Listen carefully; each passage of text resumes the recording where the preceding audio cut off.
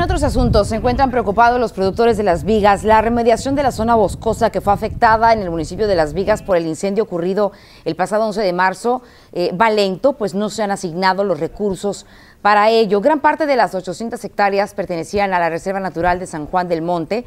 Autoridades municipales señalaron que los 600 productores de maíz y papa que se vieron afectados por este incendio y la sequía retrasaron la siembra por tres meses. Ahora están preocupados porque el cultivo se puede haber afectado con las heladas de este año.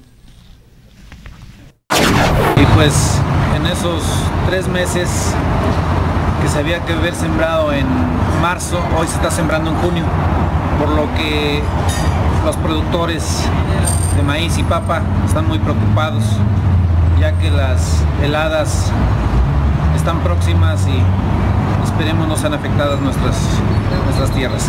Estaremos pendientes, ya que existe el temor de que nos puedan alcanzar las heladas que empiecen en noviembre y vayan a afectar estas siembras.